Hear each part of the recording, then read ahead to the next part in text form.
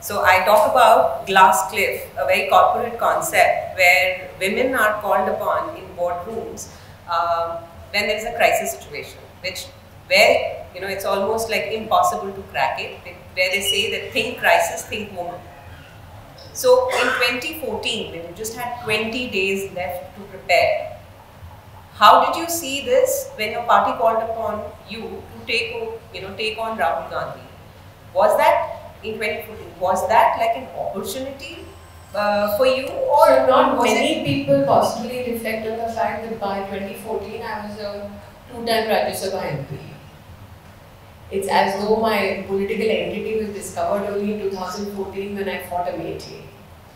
And I think that that in itself speaks volumes about when do we recognize the female competency vis-a-vis leadership? Only when we put her on a pedestal and put her under a spotlight?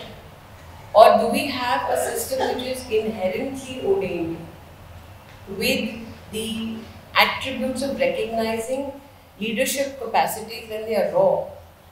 So, like I said, by the time I went into Amethi to fight the Lok Sabha election, I had already won two Rajya Sabha uh, nominations. One which was smooth sailing, my first ever.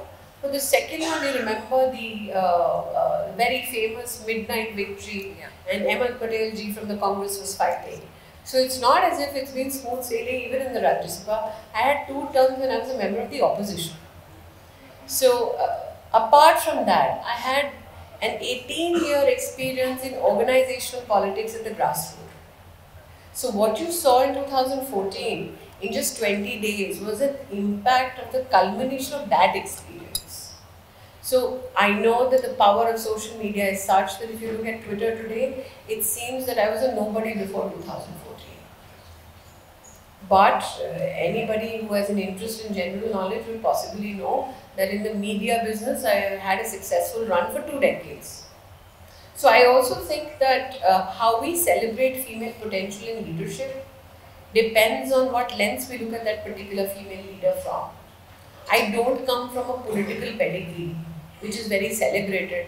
I come from a very, very middle class, lower middle class family. Hence, I do not have a glamorous set of genetics politically that I can flaunt the leverage.